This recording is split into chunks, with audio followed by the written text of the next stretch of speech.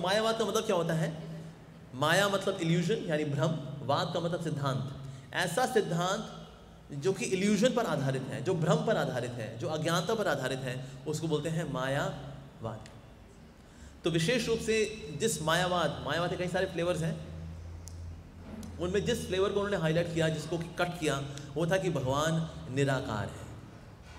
एक तू ही निराकार, बाकी सबका आकार। एक तू ही निराकार। सर, आप, आपका आकार है? कहते हाँ हमारा आकार है। अच्छा आपके पिताजी का? हाँ उनका भी आकार है। अच्छा आपके दादाजी का? उनका भी आकार है। आपके लकड़ दादे का? हाँ उनका भी आकार है। अच्छा और वो परम पिता? वो निराकार।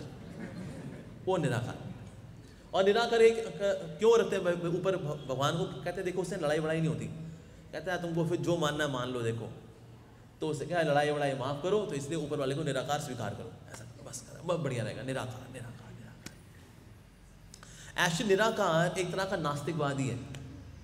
जैसे हमारे पास द्वारकानाथ प्रभु हैं, ठीक है, मैं बोलूँ, द्वारकानाथ प्रभु तो है, लेकिन उनका हाथ नहीं है, उनका पाँव नहीं है, उनकी नाक नहीं है, उनकी आँख नहीं है, उनका दिमाग नहीं है, उनके बाल नहीं है, उनके शरीर का कोई अंग नहीं है। तो प्रभु वो है कहाँ फिर? तो नाम भी ले लिया, नाम लेकर के एंटिटी हटा दी। सोचो किसी का आधार कार्ड हो, उसमें रोशनी हो उसकी फ़ोटो में। कहते सर, बंदा का है? कहते बस यही है वह बंदा। कहते कि बंदे का हाथ, पाँव ना कुछ तो हो भाई। तो इसलिए निराकारवाद एक तरह का नास्तिक सिद्धांत है। मतलब किसी की इंसल्ट करने का तरीका है। इंसल्ट करने का तरीका। कहते हैं हाँ भाई, बहुत महान है, लेकिन वो नहीं है। तो ये क्या बात हुई भाई? वो है, लेकिन वो नहीं है। तो निराकारवाद जो है बिल्कुल ऐसा ही है। भगवान को वो निराकार बता करके हमने क्या किया? उनकी फॉर्म को, उनके अस्तित्व को हमने किनारे कर दिया। ये इतना ज़्यादा क्रूर सिद्धांत है कि भगवान की सुंदरता को छीन लेता है ये। जीवात्मा की सेवा करने की प्रवृत्ति को छीन लेता है ये। और जगत की जो सुंदरता है, इसको भी छीन लेते क्योंकि मायावाद के अनुसार, निराकारवाद के अनुसार ये जगत क्या है? तो माया है तो मिथ्या है तो मिथ्या है।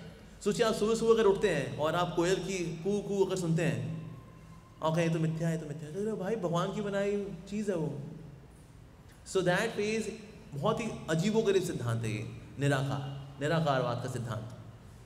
अच्छा और ये निराकारवाद का सिद्धांत जो है इसका खंडन क्यों किया श्री प्रभुपा जी ने? रीजन बीइंग इससे ना हमारी सेवा की वृत्ति खत्म हो जाती है। और निराकारवादी क्या बताए देखिए, ये कृष्ण, राम वगैरह क्या है तो ये तो ये सब वैसे ही रूप हैं, ताकि कोई तो चाहिए ना मेडिटेशन करने के लिए। अल्टीमेटली जाना फिर निराकार के अंदर ही। तो भगवान के रूप को व्यवर्शिप करते हैं, लोग निराकारवादी भी करते हैं, त्रिपुणधारी करते हैं, लेकिन कहते हैं अल्टीमेटली वो निराकार है एक होती है व्यवहारिक सत्ता, ये व्यवहारिक है, ठीक है प्रैक्टिकल है, देखो, ध्यान लगाने के लिए चाहिए होता है, लेकिन पारमार्थिक सत्ता, अरे वो तो निराकार सो दैट इज़ निराकारवाद जो है बेसिकली ये हमारी सेवा की वृत्ति को नष्ट करता है। इसीलिए मायावाद का खंडन हमारे आचार्यों ने किया है। चार चार आचार्यों ने निम्बार्काचार्य मध्वाचार्य, रामानुजाचार्य विष्णु स्वामी सबने खंडन किया है कि भगवान निराकार नहीं है। निराकार भी है, लेकिन निराकार ही है ना। निराकार भी भी है भी है, हम कह सकते हैं हाँ ठीक है, उनसे शरीर से निकलने वाला जो प्रकाश है, वो निराकार है। नहीं कहना बस वो निराकार ही है। नहीं, ऐसा नहीं है। जैसे मान लीजिए राधा गिरधारी की अगर कोई फ़ोटो लेता है, एकदम बाहर से लेता है फ़ोटो तो उसके कैमरा अगर अच्छा नहीं है, अगर, जूम नहीं कर सकता वो तो बाहर से फ़ोटो लेगा तो क्या आएगा, उसमें रोशनी आएगी। तो कोई पूछे राधा गिरधारी कैसे कहता रोशनी है। ये देखो, मैंने फ़ोटो खींची ये देखो, ये फ़ोटो खींची मैंने। तो रोशनी है। लेकिन अगर आपकी मित्रता है पुजारी के साथ तो प्रभु जी हाँ अंदर फ़ोटो खींचना नज़र आया उसमें फ़ोटो खींच, खींचेंगे तो राधा गिरधारी, ललिता, विशाखा, सखी, तुलसी, महारानी, आचार्य, सब आएँगे उसके अंदर। तो जो भगवान से दूर होते हैं, उनके लिए प्रभु निराकार है। और जो भगवान के नज़दीक हैं, वो देख पाते हैं, अरे तो भगवान तो साक्षात दिव्य रूप है तो। वाह तो जो भगवान के भक्त होते हैं, वो भगवान की कृपा से भगवान के दर्शन कर पाते हैं। जैसे आपने उपन के अंदर श्लोक सुना होगा, हिरण्यमय पात्र वाला श्लोक, जिसमें कि बता रहे कि भगवान के चारों ओर की आभा है। तो भक्त कह रहा है, प्रभु, अपने आसपास की रोशनी कम करिए ना, ताकि मैं आपके दर्शन कर सकूँ। अब जो रोशनी कम नहीं करवाएगा, वो कहेगा, भाई, निराकार और वेदांत देशिका, वो कह रहे हैं कि वहाँ से मेरे आसपास ये प्रकृति के तीन गुणों का पर्दा है, इसको हटाइए ताकि मैं आपके दर्शन कर सकूँ। तो यानी कि हमारे में और प्रभु के बीच में चार पर्दे हैं। तीन पर्दे हैं सत्वगुण रजोगुण तमोगुण के पर्दे। और एक पर्दा है जो भगवान की रोशनी का पर्दा है। तो अगर कोई इन तीनों से मुक्त हो भी जाए तो भी भगवान के दर्शन नहीं कर पाएगा रोशनी के दर्शन करेगा कहेगा बस वो रोशनी है जी मैं रोशनी माता जी को देखकर आ गया वापस बस ऐसे जी। तो so, इसीलिए भगवान से अल्टीमेटली भगवान की कृपा से ये तीनों पर्दे भी हटने हैं। पर्दा वन, तमोगुण। पर्दा टू, रजोगुण। पर्दा तीन सत्योगुण उसके बाद फिर भगवान की आभा। भगवान के शरीर से निकलने वाला तेज, इसको भी हटाएँगे तो फिर प्रभु के दर्शन हो पाते हैं वास्तव में। अदरवाइज़ प्रभु के दर्शन नहीं हो पाते बिकॉज़ पर्दा ही पर्दा है। लेकिन पर्दा किन के लिए है? जो कि भगवान से विमुख है। तो भगवान कहते हैं, पर्दे में रहने दो। पर्दा ना उठाओ। हाँ। पर्दे में रहने दो। ये तुम्हारा सेवा भाव नहीं है अभी पर्दे में रहने दो तुम भी पर्दे में रहो, मेरे पास भी पर्दा है, पर्दे में रहने दो जी, ऐसे। पर्दा जो उठ गया तो भेद खुल जाएगा, अरे प्रभु तो साकार है। प्रभु निराकार नहीं है। सो दैट फेस तो इसीलिए जो निराकारवादी होते हैं वो ये मान चलते हैं कि असल में वैसे तो निराकार है, सब और ये निराकार ही है। ठीक है जी? अच्छा हम लोग कौन है फिर? हम लोग कैसे आ गए फिर? सब कुछ निराकार है तो ये कैसे आ गए ये सब? कहते ये वास्तव में उसी निराकार के छोटे छोटे अंश हैं। छोटे छोटे छोटे छोटे छोटे छोटे छोटे छोटे अंश हैं। जैसे ही ये समझ जाएँगे, भाई ये देखो, ये शरीर कुछ नहीं है अल्टीमेटली ये तो वो वही निराकार के साथ ही बस मिल जाना है। जैसे बूंदी का लड्डू होता है ना? बूंदी का लड्डू होता है तो उससे बूंदी निकाल देते बूंदी बूंदी बूंदी बूंदी बूंदी बूंदी बूंदी। अब लड्डू गायब। लड्डू गायब। उससे वही निराकार जो बूंदी का लड्डू है, वही उसकी बूंदी बूंदी हो आप सब, बूंदी बूंदी बूंदी। हमारे कपड़े भी बूंदी वाले, बूंदी बूंदी बूंदी बूंदी। हम सब बूंदी हैं। बस जैसे ही बूंदी ने समझ लिया भाई वो लड्डू का हिस्सा है। बस फिर एक है लड्डू है बस। तो वाह जी वाह। अच्छा तो लड्डू था पहले? कहते हाँ अच्छा लड्डू साकार होता है निराकार होता है? कहते वो तो साकार होता है। अच्छा मतलब साकार नहीं नहीं है वो निराकार है लेकिन निराकार लड्डू है वो। हाँ, निराकार लड्डू है वो। ओ अच्छा अच्छा। तो उससे फिर हम लोग सब ऐसे ऐसे निकल आए हम लोग। कहते हाँ यस कहता अच्छा तो मतलब वो निराकार ब्रह्म को काटा जा सकता है? क्योंकि लेकिन भगवदगीता में तो लिखा है कि आत्मा को कोई काट नहीं सकता, जी। लेकिन निराकारवाद के सिद्धांत के अनुसार क्या है? इसको काटा जा सकता है। निराकार ब्रह्म है, ये कटा, ये व्यक्ति बना। दूसरा कटा, ये व्यक्ति बना। तो इस प्रकार से इतने टुकड़े हुए हैं वो उस निराकार की, ओए होए होए होए क्या बात है जी। मेक सो मच सेंस ना? लेकिन भगवदगीता में क्या लिखा है? आत्मा कटती नहीं है। आत्मा कोई नहीं काट सकता। ना कोई जला सकता है। ना ही आत्मा में कभी विकार आता है। विकार का मतलब क्या होता है? विकार का मतलब जैसे कि दूध में जब विकार आ जाता है तो क्या बन जाता है? दही। तो उसमें विकार आ गया। आपने खट्टा डाल दिया, खट्टा डाल करके उसमें विकार डाल दिया, वो दही हो गया वो। अब दही तत्व अलग है, दूध तत्व अलग है। दोनों अलग अलग तत्व हैं। इसको बोलते हैं विकार आ जाना। जैसे हमने वो मूवी देखी ना, जैसे स्पाइडरमैन मूवी स्पाइडरमैन गया था फ़ोटो खींच रहा था, मकड़ी आई, उसको यहाँ काट लिया उसके अंदर का डीएनए चेंज हो गया, वो स्पाइडरमैन बन वो कर रहा है। इसमें विकार आ गया। अब ये मैन नहीं रहा, अब ये स्पाइडर का खट्टा मिल गया इसके अंदर, अब ये स्पाइडरमैन हो गया। उसका तत्व बदल गया अब राइट इसको बोलते हैं विकार आना। लेकिन आत्मा अविकारी है, यानी कि आत्मा में कभी विकार नहीं आ सकता। लेकिन आया, मायावाद जो सिद्धांत है, निराकारवाद का सिद्धांत है, इसके अनुसार आत्मा में विकार आ गया। ये वैसे तो निराकार ब्रह्म थी, लेकिन अब ये जीव बन के घूम रही संसार के अंदर, कष्ट पा रहे हैं हम लोग। तो इससे निराकारवाद सिद्धांत के अनुसार एक्चुअली हमें विकार आ गया है। लेकिन हमें विकार एक्चुअली नहीं आता। As per Bhagavad Gita as per Bhagavad Gita तो लेकिन इसके अनुसार विकार आ गया। लेकिन एक्चुअली देखा जाए, हमारा जो वैष्णव सिद्धांत है, जो वास्तव में शास्त्र का मत है, निराकार जो ब्रह्म है, यानी भगवान से निकलने वाला जो प्रकाश है, और हम जीव, ये दो अलग अलग तत्व हैं। जो जीव है, वो साकार है। जो जीव है, वो साकार है। और निराकार ब्रह्म निराकार है। अच्छा जीव में इच्छाएँ हैं। अच्छी इच्छाएँ हैं, बुरी इच्छाएँ हैं, भक्ति वाली इच्छाएँ लेकिन इच्छाओं से मुक्ति प्राप्त नहीं कर सकते। इच्छाएँ हमेशा रहेंगी। लेकिन निराकार ब्रह्म के अंदर कोई इच्छा नहीं होती। तत्व में हम भगवान की तटस्थ शक्ति है। और निराकार ब्रह्म भगवान के शरीर से निकलने वाला प्रकाश है। तो दो अलग अलग चीज़ें ऑल टुगेदर दो अलग अलग चीज़ें। लेकिन जो निराकारवादी होते हैं सबको सेम मानते कहते हैं, भाई, ये सब कुछ एक ही है, ये, एक ही है everything is one everything is one हालाँकि श्रीपाद शंकराचार्य, आदि शंकराचार्य जब आए थे तो उन्होंने ये भला वन की फिलोसफी क्यों दी? इससे पहले बौद्ध धर्म आ गया था। बौद्ध धर्म में क्या किया? शास्त्रों को किनारे कर दिया था, क्योंकि शास्त्र क्या है बली बली दी हुई है इसमें। हालाँकि भक्ति भी दी हुई है, लेकिन जो लोग मिसयूज कर रहे थे उसका तो इसीलिए शास्त्रों को किनारे कर दिया। लेकिन शास्त्र को वापस भी लेकर के आना है? क्या किया जाए? तो इसीलिए शास्त्रों को वापस लेकर के आए आदि शंकराचार्य जी। क्योंकि शास्त्र अलग हो गए ना इसीलिए। तो जो सिद्धांत दिया बौद्ध धर्म में वो था शून्यवाद। The existence of non existence the existence of non existence वाह अच्छी टाइम सुनने में कितना अच्छा वाह। एग्जिस्टेंस ऑफ़ नॉन एग्जिस्टेंस ऐसे देखा है लॉजिकली एकदम फालतू बातें। ऐसा हो सकता है? आप उस अस्तित्व में पहुँच जाते हैं जहाँ आपका अस्तित्व ही नहीं है। जो जो कम बुद्धिमान होते हैं, उनको लगता है, यार, कितनी बड़ी बात बोल दी। यार गधी बात बोली यार एकदम इसका सर पाँव ही नहीं है। आप उस अस्तित्व की पराकाष्ठा में पहुँच जाते हैं जहाँ अब अस्तित्व रहा ही नहीं। बात है? बहुत बढ़िया। अब फिर उसमें क्या होता है? जब आप उस अस्तित्वहीन अस्तित्व में पहुँच जाते हैं वही आनंद की स्थिति है। तो सर भाई साहब जब अस्तित्व रहा नहीं तो आनंद उठाएगा कौन? ये तो वही हो ना एक बार आत्महत्या कर ले फिर तो मज़ा ही मज़ा है। कहता भाई जब मर गया तो आ, मज़ा किसका भाई? तो कहा तो चाहे कोई निर्वाण में शून्य में कूद करके आत्महत्या करे या निराकार ब्रह्म में कूद करके आत्महत्या करे। जब आत्महत्या कर ली भाई साहब आपने तो खुश कौन रहेगा फिर? बस वो आनंद स्वरूप, ब्रह्म में आनंद का, लेकिन सर आनंद आप पाएँगे कैसे? बिकॉज़ अब आप तो एक हो गए। आपका अस्तित्व तो खत्म हो गया। तो जब अस्तित्व खत्म हो गया तो आनंद को लेगा फिर? लेकिन फिर भी, लेकिन अभी क्या करें? अभी शून्यवाद है तो शून्य ज़ीरो के बाद कौन सा डिजिट आएगा? वन तो इसके अद्वैत वन सब कुछ एक है। जीव और भगवान एक। अच्छा भगवान और अवतार एक। वो और प्रकृति एक। प्रकृति और हम एक। हर एक जीव, एक एक एक एक और सिर्फ़ एक। दैट्स अद्वैतवाद। दो नहीं, एक।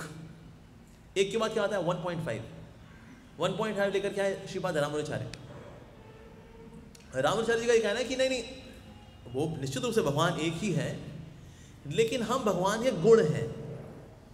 भगवान एक गुण है। बेसिकली जो निराकारवाद है ना, वो क्या करता है? वो ये मानता है कि ना, जो निराकार ब्रह्म है, उसमें कोई एट्रीब्यूट्स नहीं है, उसमें कोई गुण नहीं है उसके अंदर। एक एक्सरसाइज करके देखते हैं, ठीक है? मैं आप सबको दे रहा हूँ आधा मिनट ध्यान लगाइए निराकार का। एवरीवन ऐसे सीधे बैठे चलिए। एवरीवन आइए, निराकार पे ध्यान लगाए।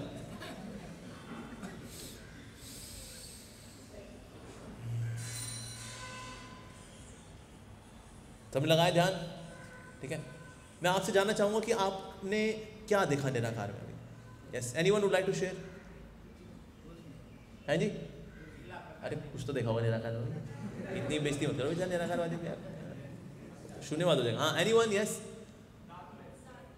डार्कनेस देखी आपने। अंध अंध, अंधेरा देखा।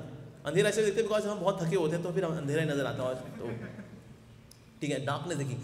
अंधेरा होना भी तरह गुण है। उस जगह में अंधकार था। राइट और और क्या देखा आपने? को बोले मैंने रोशनी का गोला देखा। रोशनी का गोला देखा उसने। गोल कोई चीज़ होना ये भी एक गुण है। कहते वो भाई, गोल है वो। मैं देखा वो प्रभु जी को वो प्रभु जी गोल है। गोल होना भी ये गुण है। अच्छा और क्या देखा? चमकदार रोशनी देखी मैंने। चमकदार होना, रोशनी होना ये गुण है। अगर हम ये लेके चले कि निराकार ब्रह्म के अंदर कोई गुण नहीं होता तो ये तो गुण आ गए, गोल भी है, रोशनी भी है, प्रकाश है, अंधकार है, जो भी है, लेकिन ये गुण है वास्तव में। तो बिना गुण के तो भगवान हो ही नहीं सकते। तो रामाचार्य जी ने कहा कि वास्तव में आप कह रहे हो ना कि उसमें ये भी नहीं है, उसमें यो भी नहीं है, उसमें ये भी नहीं है, उसमें वो भी नहीं है मतलब सब छीन लो भगवान से तुम। उनका रूप नहीं है, उनका रंग नहीं है, उनका नाम नहीं है, उनका ये भी नहीं है, उनका वो भी नहीं है, सब छीन लो भगवान से तुम। उसके बजाय हमें क्या करना चाहिए? बल्कि सारे गुण उनको देने चाहिए। सुंदरता का गुण उनमें है, दया का गुण उनमें है, करुणा का गुण उनमें है, आदान प्रदान का गुण उनमें है उनमें है। लेकिन गुण है तो भगवान भले एक अखंड तत्व है, लेकिन फिर भगवान के गुण है। तो हम सब उनका गुण है बेसिकली सो 1.5 शुरू कैसे किया था हमने? ज़ीरो से। उससे पहले लोग माइनस वन माइनस टू थे मतलब मिस यूज़ कर रहे थे शास्त्रों का। उसके बाद आया मध्वाचार्य कहता वन पॉइंट फाइव टू द्वैत एवरीथिंग इज़ टू दो है हम और भगवान दो हैं भगवान उनके अवतार दो हैं भगवान और प्रकृति दो हैं प्रकृति भी दो हैं भौतिक प्रकृति आध्यात्मिक प्रकृति दो हैं हम सब जीवात्माएँ भी दो हैं ये और ये दो हैं दो हैं दो हैं उसके बाद आए श्री कृष्ण चैतन्य महाप्रभु उन्होंने कहा दो उसके बाद तीन चार पाँच छः सात आठ नौ दस ग्यारह बारह तेरह चौदह पंद्रह सोलह सत्रह ultimate conclusion by Shri Krishna Chaitanya Mahaprabhu तो बेसिकली जो सफ़र है इसे ताकि हमारी सफरिंग को कम किया जा सके, अद्वैतवाद में सफ़र करने का जो सफ़र है। तो इसीलिए जो है, सफ़र इस प्रकार से आया। जो टोटकाचार्य के नाम के बहुत ही महान शिष्य हुए आदि शंकराचार्य जी के, उन्होंने एक वक्तव्य लिखा है उनकी जीवनी के ऊपर। कि जब आदि शंकराचार्य जी की mother when she was about to die मृत्युश्रैया पे थी तो उन्होंने बुलाया अपने बेटे को। तो सबने इन्फॉर्म किया कि आदि शंकराचार्य आपकी माता जी अब जाने वाली हैं तो आपको याद किया उन्होंने। तो आदि शंकराचार्य जी आए, अपने शिष्यों के साथ थे, कुटिया में उनकी माता जी लेटी हुई हैं। उन्होंने कहा, अरे शंकर, तू आ गया अरे हाँ माँ, मैं आ गया तो माता जी ने कहा, बस अब मेरे प्राण कभी भी निकल सकते हैं। अब तू मुझे उनके बारे में बता, जिनका तू हृदय में भजन करता है, मुझे उनके बारे में बता। तो आदि आदिशंकर ने कहा, जी माते वो निराकार ब्रह्म, जो सर्वसाक्षी है, सर्वव्यापी है, साक्षात ज्ञान स्वरूप है। माँ ने कहा बेटा, मेरे कभी प्राण निकल सकते हैं, बेटा। मुझे उनके बारे में बता, जिनका तो हृदय में भजन करता है। बिल्कुल माँ वही बताता हूँ माँ। सबके हृदय में जो परमात्मा रूप स्वरूप, वो विराजमान है, जो सब कुछ जानने वाला है, जो कि वास्तव में अनुमंता है, वही परमात्मा। माँ ने कहा बेटा ओ मेरे बेटा, शंकर, मेरे प्राण कभी भी निकल सकते हैं बेटा। तू मुझे उनके बारे में क्यों नहीं बताता? जिनका तू हृदय भजन करता है रे। अरे माँ, ठीक है माँ। शिष्यों, बाहर जाओ सब। माँ, तू अब राधा श्याम सुंदर के बारे में सुन अब।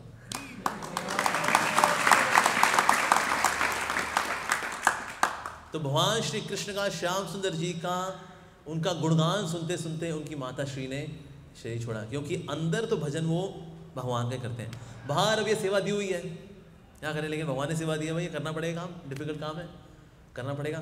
तो इसीलिए आदि शंकराचार्य जी ने आ करके जो सिद्धांत दिया अद्वैतवाद का सिद्धांत नॉट दैट ये अल्टीमेट सिद्धांत है, ना ना ना ना ये अल्टीमेट सिद्धांत नहीं है।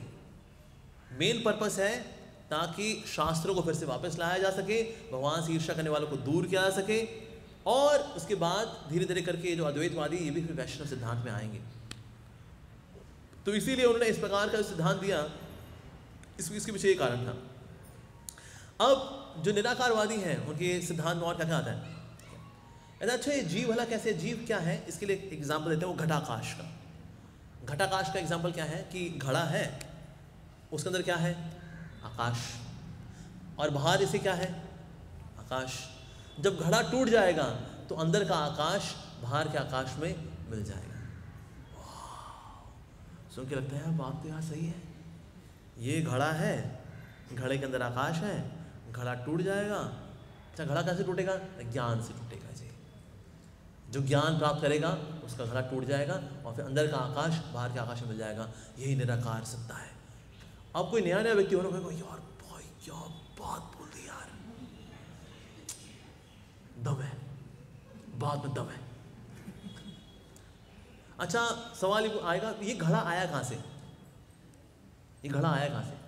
और एक घड़ा इसको क्यों दिया गया? भाई घड़ा में, हम तो इस घड़े में आ गए ना, लेकिन क्यों दिया गया? कहता है, वो मत पूछिए जी आप। बस घड़ा आ गया है। घड़े को स्वीकार करिए। घड़े को स्वीकार करना चाहिए। अच्छा अच्छा अच्छा। सर, घड़े के बाहर जो है, वो तो निराकार है, उसमें कोई इच्छा नहीं है? हाँ। अच्छा घड़े के अंदर इच्छा कैसे आई? अच्छा ऐसे सवाल नहीं करते। ऐसे सवाल नहीं करते। चुपचाप स्वीकार करते हैं। अंदर भी आकाश है, बाहर भी आकाश है, इस आकाश को उस आकाश में मिलना है। तो अच्छा लेकिन सबको अलग अलग आकाश क्यों बोलते हैं? किसी को अच्छा आकाश मिला, किसी को बुरा आकाश मिला, किसी को बढ़िया वाला आकाश मिला, किसी को बहुत ही घटिया आकाश मिला। ऐसा क्यों? किसी को बीमार वाला आकाश मिला, किसी को स्वस्थ वाला आकाश मिला, किसी को जिम जाने वाला आकाश मिला। कहते ये सॉरी घड़ा मिला। ये घड़े अलग तरह के घड़े क्यों गए सवाल नहीं पूछते। चुपचाप स्वीकार करते हैं। समझे आप? अच्छा जी, ठीक है। तो ये अच्छा हथौड़ा कहाँ से आएगा? कहता हथौड़ा है ज्ञान। अच्छा ओ, यानी कि अद्वैत अद्वैत का मतलब होता है एक। सर, यहाँ तो लेकिन तीन चीज़ें हो गई। हथौड़ा, घड़ा और आकाश। तो तीन हो गए। ऐसी बातें नहीं करते। चुपचाप स्वीकार करते हैं। प्रश्न नहीं पूछते। नहीं सर हथौड़ा मारेगा कौन? हथौड़ा मारने के लिए हाथ चाहिए होगा। सर निराकार का हाथ नहीं ऐसे सवाल नहीं पूछते। चुपचाप स्वीकार करते हैं। अच्छा ठीक है जी। ओके तो मतलब यानी घड़ा और तो, तो अच्छा ठीक है सब मान गए सर। अच्छा लेकिन यानी कि जो ज्ञान आ रहा है ज्ञान कहाँ से आ रहा है फिर? ज्ञान कहाँ से आ रहा है? ब्रह्म से आ रहा है। अच्छा ज्ञान भी ब्रह्म से आ रहा है। यानी दो चीज़ें हैं। एक है ज्ञान, एक है ब्रह्म। ये सब एक ही है। एवरीथिंग इज़ वन सब कुछ एक है। चुपचाप स्वीकार करो सिद्धांत को। अच्छा सर, ठीक है साहब। अब आप बोल रहे हैं अच्छा ये एक मटकी अगर फोड़े तो ये तो मुक्त हो गया। जिसकी मटकी नहीं फूटी, वो तो बद्ध रह गया। तो यानी दो तरह के ब्रह्म है। एक है मुक्त ब्रह्म, एक है बद्ध ब्रह्म। तो ये तो दो हो गए। ऐसी बातें नहीं बोलते। सब एक है। तो लेकिन सर, एक मटकी, बाकी मटकियाँ तो लेकिन फूटी नहीं है।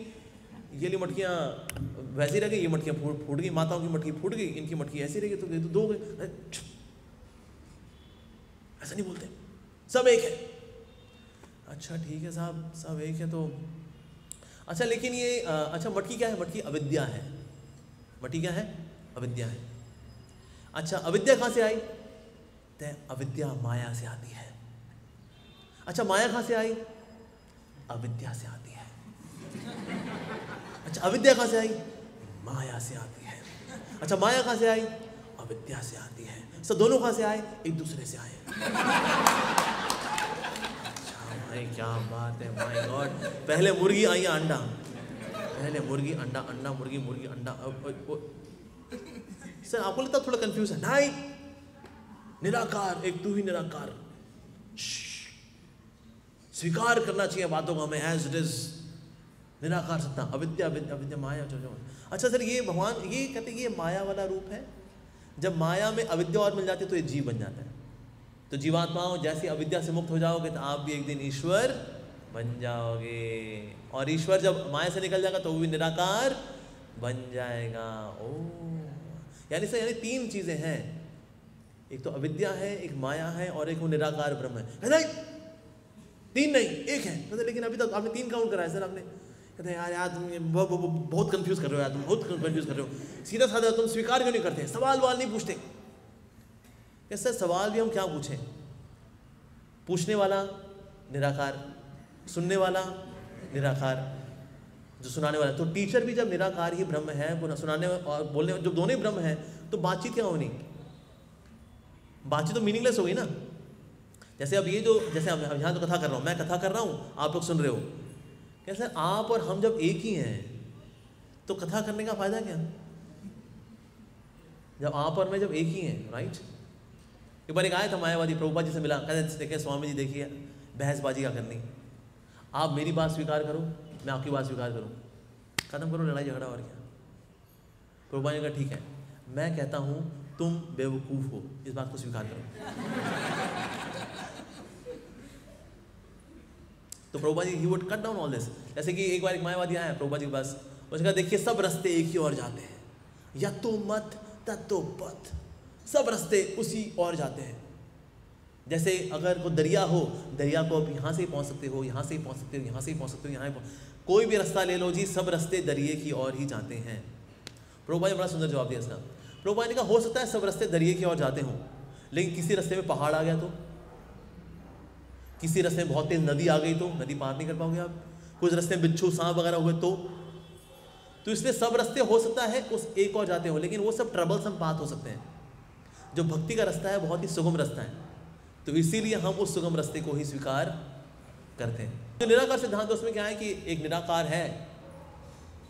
ठीक है जी अच्छा निराकार है वेरी गुड अब इसमें कुछ लोग मुक्त भी हो रहे हैं, कुछ लोग बंद भी रहे हैं। किस कारण से हो रहे हैं, वो तो पता नहीं जी। भाई, मान लो हम लोग मटकी में आ गए, यानी कि जो मटकी है, हम सबकी अलग अलग मटकी, किसी की मटकी वाकई में निकली हुई है तो हम सब मटकी में तो आ गए। तो कुछ लोग मटकी से मुक्त हो रहे हैं, कुछ लोग मटकी में ऐड हो रहे हैं। जैसे कि अगर एक थाली हो, थाली के अंदर है चावल, बहुत सारे चावल पड़े हैं तो कुछ चावल इसमें से निकल गए। ये हम मानेंगे भाई, ये तो माया में गिर गया, ये तो अब इसने मटकी ले ली। और जिन्होंने, किसी ने मटकी स्वीकार की थी, वो बद्रीनाथ में गया, केदारनाथ में गया, उसने तपस्या की बर्फ़ों में बैठ करके, और वो मिक्स हो गया। इसको मान लेते हैं कि हम दाल मान लेते हैं, ठीक है? तो दाल जो है यहाँ मिक्स हो गई। तो मैं क्या कर रहा हूँ? चावल निकाल रहा हूँ दाल ऐड कर रहा हूँ। चावल निकाल रहा हूँ दाल ऐड कर रहा हूँ। तो कुछ समय बाद थाली में क्या बचेगा? दाल। लेकिन निराकार के साथ का, का सिद्धांत उसमें ये माना जाता है कि जो निराकार है वो चेंजलेस है। एब्सल्यूट है। उसमें कोई बदलाव नहीं आता। नहीं सर ये तो बदलाव आ रहा है सर। कुछ लोग फंस रहे हैं कुछ लोग ऐड हो रहे हैं कुछ सब्ट्रैक्ट हो रहे हैं कुछ लोग ऐड हो रहे हैं। तो थाली में तो सारा माल चेंज हो गया। ऐसी बातें नहीं बोलते। चुपचाप स्वीकार करते जो बोला जाता है ना, उसको स्वीकार करना चाहिए। जैसे यहाँ पहले शब्द आ रहा है, सो हम। जैसे कई लोग ऐसे ध्यान लगाने वाले, सो हम। सो हम। तुम वही हो बेटा। सो हम। सो जाओ। वाह, सो हम। कि तुम वही हो सो हम।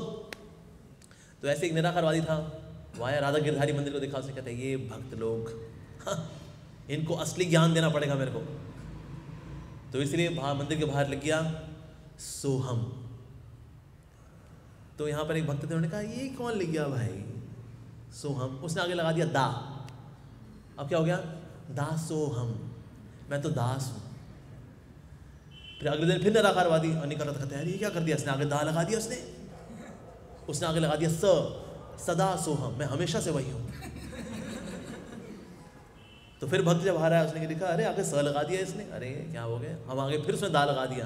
दास दासो हम तो निराकारवादी ने कहा, भाई, इनको so that is ultimately we are भगवान का दास। जो भगवान का दास एक्चुअली भगवान ये मानना कि हम हम एक हो जाएँगे भगवान के साथ। वैसे हम नहीं होने वाले भगवान के साथ एक। क्योंकि भगवान में भगवदगीता बता रहे हैं कि आत्मा घुलनशील नहीं है। आत्मा घुलती मिलती नहीं है। जितने निराकारवादी हैं ये बता रहे थे आत्मा और परमात्मा का मिलन। यहाँ से आत्मा दौड़ती हुई आती है, ला ला ला। और वहाँ से परमात्मा आ रहे और फिर दोनों का हो गया मिलन। ओए ओए ओए। और दोनों एक हो गए। ऐसा होता है एक हो जाते हैं? क्या हनुमान जी राम जी में एक हो गए या उनकी सेवा करते हैं? सेवा करते हैं। तो आत्मा घुलनशील नहीं है। अरे कोई शिकंजी थोड़ी है कि आत्मा परमात्मा घुल गई, बन गई शिकंजी दी परमात्मा के साथ। ऐसा थोड़ी होता है। परमात्मा का तत्व अलग है, जीव का तत्व अलग है, ये तत्व इस तत्व में घुलता नहीं है। कभी नहीं घुल सकता। तो जितने लोग बता रहे हैं कि आत्मा, परमात्मा का मिलन ही वास्तव में जीवन की सर्वश्रेष्ठ सिद्धि है, भाई साहब। लाइए, पान लाइए आओ।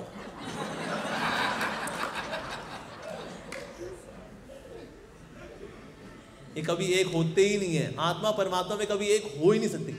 ये कौन बोल रहा है? भगवदगीता बोल रही है, आत्मा घुलनशील नहीं है, अव्ययम इनसॉल्युबल तो ये परमात्मा में भी एक नहीं हो सकती। आत्मा, परमात्मा एक होगा। कैसे एक होगा जी? एक हो ही नहीं सकते वो। इम्पॉसिबल और एक होना, ये तो हमारे वैष्णवाचार्य बता रहे कैवल्यम नरकाय थे ये तो नर्क है। कैवल्यम। मान लो कोई निराकार तक पहुँच भी गया अगर। एक तो हो नहीं सकता, वहाँ पड़ा हुआ है वो। इतना नीरस जीवन, ओह, इतना कोई रस नहीं है वहाँ पर। एक बार किसी व्यक्ति ने चैलेंज किया प्रभुपा जी को, स्वामी जी, आप कैसे कह सकते हैं कि निराकार के अंदर आनंद नहीं है? प्रभुपा ने कहा, देखो, निराकार में आनंद तो है, लेकिन रस नहीं है। रस किससे आता है? आदान प्रदान से आता है। जैसे माँ बच्चे के साथ जो करती है, उसमें रस है। जो दोस्तों में आपस में होता है, वो रस होता है। रिश्तों की वजह से रस आता है। जब निराकार में कोई रिश्ता ही नहीं है तो रस कहाँ से आएगा? और जहाँ रस नहीं होता, उसको क्या बोलते हैं? नीरस। नीरस। तो इसीलिए वहाँ पर वास्तव में आनंद है नहीं। तो इससे अगर निराकारवादी कोई पहुँच भी जाए गलती से निराकार में, उसको वापस आना पड़ता है संसार में, वो रस को एक्सपीरियंस करने के लिए। अब भक्ति रस तो उसने एक्सपीरियंस किया नहीं कभी, क्या करें जी? तो यहाँ पर आना पड़ता है। दैट्स थिंग जैसा देखा, मक्खी होती है ना, शीशे पे कर ठक। ऐसे ही जो निराकारवादी होते निराकार बम में लगा होता है, एक हो जाऊँ सेम मक्खी की ज़िंदगी, निराकार तक पहुँच के फिर वहीं ठक। अरे लो जी। तो निराकार की सिद्धि सिद्धि है, लेकिन टेम्परेरी सिद्धि है। वापस जगत के अंदर आना पड़ता है। हमारे आचार्य श्री जीव गोस्वामी वो एग्ज़ाम्पल देते हैं कि जैसे कोई कोई औरत हो, उसके पास एक उसका बच्चा हो, और बच्चा लेके भाग रही है, उसके पीछे गुंडे भाग रहे हैं। ए, कहाँ जा रही है यार है और वो भाग जा रही तभी ना उसको घर दिख गया, उसको कहते ओह थैंक गॉड ये घर दिख गया। दौड़ी दौड़ी। तो ना वहाँ जो जो सीढ़ी थी सीढ़ी को उसका पाँव ठोकर लगी तो ना उसका बच्चा गिर गया उसका। बच्चा गिर गया, लेकिन गुंडे आ गए तो दौड़ करके अंदर चली गई और दरवाज़ा बंद कर लिया उसने। लेकिन बच्चा बाहर रह गया। तो गुंडे जो है, बच्चे को हाथ में लेते कहते हैं चल बाहर निकल। कहाँ जाएगी तू छोकरी? तो कुछ समय का सुकून मिलता है। लेकिन अपने बच्चे के लिए उसको वापस गुंडों के पास जाना पड़ेगा। इसी प्रकार से निराकारवादी, निराकार प्रवेश मान लो कर भी गया। थोड़ा सुकून मिला उसको। ओके जना ना जन्म, ना मृत्यु, ना बुढ़ापा, ना बीमारी। लेकिन जन्म, मृत्यु, बुढ़ापा, बीमारी के गुंडे कहते हैं, ए, वहाँ कोई रस नहीं है। रस तो संसार में है। भक्ति रस ऊपर है, वो तूने भक्ति कभी की नहीं बेटा, इधर नीचे आ जा। फाइनली इनको वापस आना पड़ता है जगत में रस को अनुभव करने के लिए। वो भी थर्ड क्लास रस, संसार का रस क्या है? जड़ रस। फोर्थ क्लास रस। सो so, इसीलिए फिर ऐसे निराकारवादियों को संसार में फिर से आना पड़ता है। यस और पुराणों में लिखा हुआ है कि ऐसा भक्त जो कि जीव में और भगवान में अंतर को बताता है समझाता है ऐसा भक्त मुझे बहुत प्रिय है। तो इसलिए मैं आज मैं भगवान का प्रिय बनने का प्रयास कर रहा हूँ। ये आगे आपको भी और को बताना है। सर हमें प्रिय बनना है जीव में भगवान में अंतर समझाना। जीव और भगवान में अंतर है और हमेशा रहेगा। और ये अंतर ही खूबसूरती है हमारी। ये जीवन की खूबसूरती है। ये अंतर। हनुमान जी से पूछा जाए कि आप राम जी में एक हो जाओ कभी ना हो, कहते ना, सदा रहो रघुपति के दासा। यस जो है दासा, वही है बिंदासा तो इसीलिए दासा। यशोदा मैया भी कभी कृष्ण में एक नहीं होती, कि यशोदा मैया इतनी भक्ति हो गई, चलो, घुस जाओ कृष्ण के अंदर अब। ना, रस तो वास्तव में भक्ति में ही है। इसलिए जितने निराकारवादी होते हैं, ये भी भागवत पे कथा करते हैं। क्यों निराकार निराकार बता करके? आ, आ, आ, आ, आ, ये भी आ, आ, आ, वो सुनने वाले भी आ, आ, आ। कहता है यार रस कहाँ कहता है देखो वो तो भागवतम में ही है। तो भागवतम की कथाएँ सुना करके आखिर बोल देंगे एक तू ही निराकार हेलो। तो इसीलिए वास्तव में रस तो भक्ति रस में ही है और भक्ति ही अल्टीमेट कंक्लूजन है। ऐसे भगवान भगवदगीता में बता रहे हैं बारहवें अध्याय के अंदर साकार से मेरे प्रति जल्दी व्यक्ति मेरे पास पहुँच जाता है। निराकार वाला पहुँचता है मेरे तक, पर लेकिन बड़ी कठिनाइयों के बाद पहुँचता है। निराकार वाला बहुत जुगत करनी पड़ेगी उसको। जैसे कि जो गीता प्रेस में बहुत ही फ़ेमस ऑथर हुए श्री राम सुखदास जी।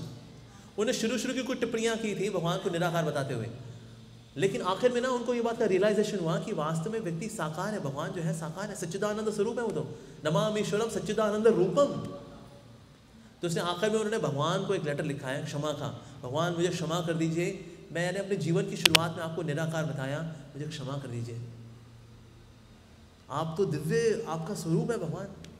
मैंने मैंने आपको निराकार बताया वेरी सॉरी क्षमा मांगे तो at the end he became actually devotee तो निराकारवादी अल्टीमेटली इनको डिवोटी बनना ही पड़ता है, क्योंकि निराकार के अंदर कोई रस नहीं है। ठीक है जी? ओके हम विराम देंगे।